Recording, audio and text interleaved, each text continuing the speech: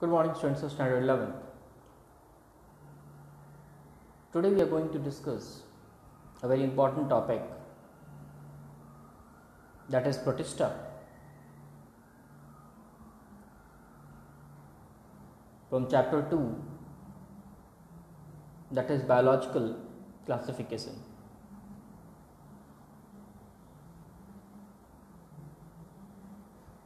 Protista. They are unicellular organisms which are mainly aquatic. Students, Protista are those groups of organisms which are unicellular. That is,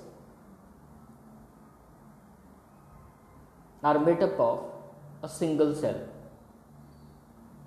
Students, these organisms are mainly aquatic. That is, they generally remain present in water. Students, here in this picture also we can see it's written water protista. So it is defined protista, which you can see here. The organism, the kingdom containing mostly cellular, mostly unicellular eukaryotic organisms are called as protista, which you can see here also. So, students, here eukaryotic, the word eukaryotic which you are seeing here are those group of organisms the cell of which has advanced nucleus that is the nucleus which has nuclear membrane. So the cell which has nuclear membrane enveloping nucleus is called as eukaryotic. So protista are eukaryotic organisms since here it is also written there protista are usually single celled organisms which you can see.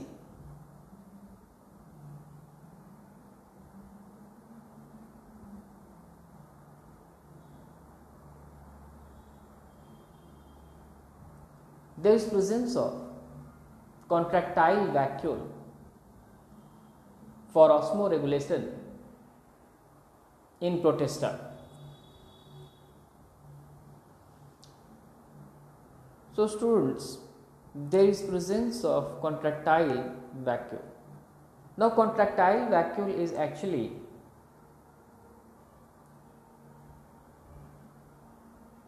an important part of the protista, the main work of which is osmoregulation. Osmoregulation that is it maintains the entry and exit of water. So, students, let us understand the concept of osmoregulation with the help of this picture which has been displayed here. Firstly, let us know that what is contractile vacuole, how it appears and where it is located. So, students this is the contractile vacuole this which you are seeing. This is the contractile vacuole which there remains present in amoeba. It appears oval as you can see and the most important work of contractile vacuole is to let the water enter inside in a limited amount and also to allow the water exit uh, exit out from the cell. So, that is what we can say that it is the contractile vacuole which will decide what amount of water will enter inside the cell and what amount of water will exit out of the cell. Presume students that there is no contractile vacuole here, then it will be very difficult for the cell to allow the water enter inside and even to let the water exit out of the cell. Because there will be no specific part of the cell which will be working for the limited entry of water inside inside the cell and exit of limited amount of water outside the cell. So, that is why students we can say that osmoregulatory work is very important for protista and it is being done by contractile vacuole which you can see here and here. This is the contractile vacuole.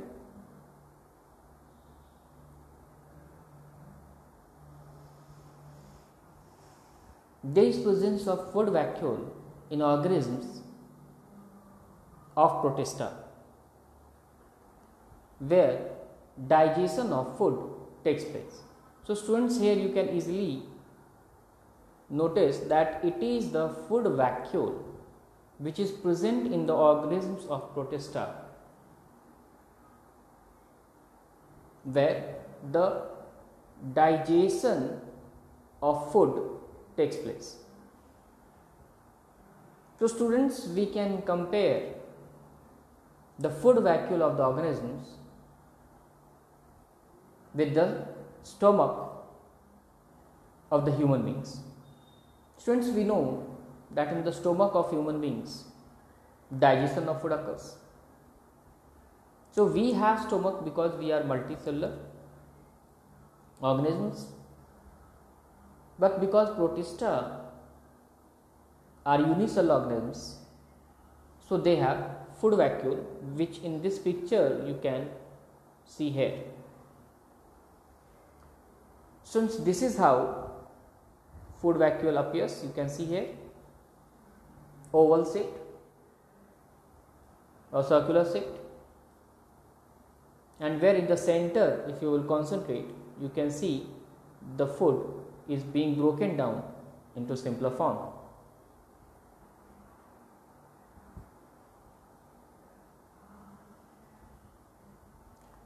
The organisms of protista reproduces by binary fission.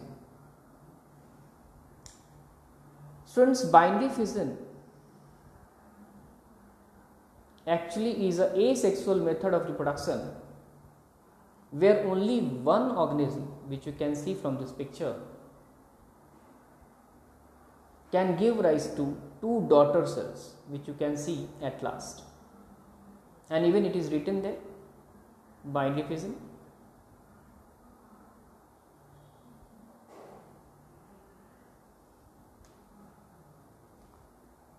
So, students we can say that one parent cell forms two daughter cells and this process is called as binary fission. Students it is called as asexual method of reproduction because here is only one parent involved. You can see that this cell is neither male nor it is female it is just a cell which is acting as a parent and giving birth to two new daughter cells.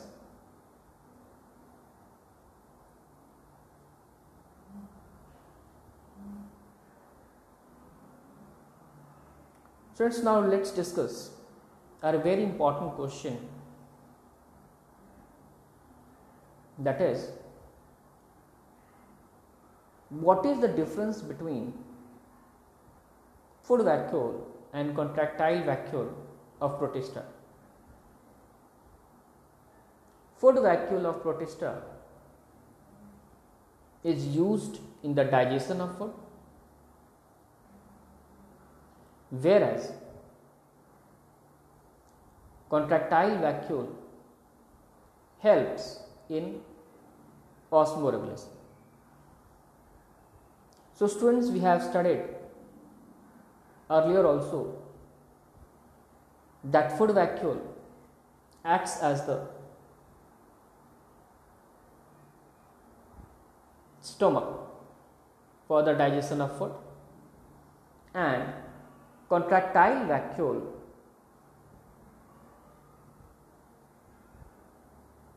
which helps in the osmoregulation students can be compared to the kidney of the human beings. Students, we know the function of kidney. The main function of the kidney is to expel out the unutilized water out from the body. But kidney even ensures that the essential amount of water does not get expelled out from the body rather is retained by the body.